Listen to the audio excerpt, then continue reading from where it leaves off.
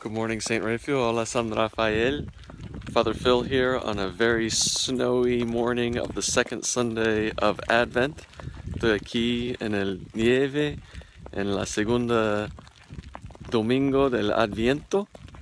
We're in the midst of a preaching series now, which is called With God for Others. Estamos en el medio de una serie de predicación que se llama Con Dios para los demás.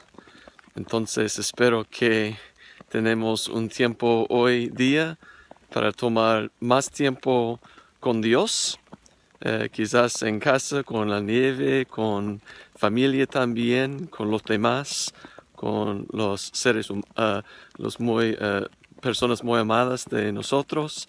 So I hope that on this day, on this snowy Sunday, we have a little extra time to spend maybe warm in the house with God and also with others, with our family, with our friends on this snow day. Entonces quería mandar un mensaje este mañana para decirles un muy bien adviento y Dios lo bendiga. I wanted to send a little message this morning to say happy advent and God bless as we continue with God for others. Con Dios para los demás.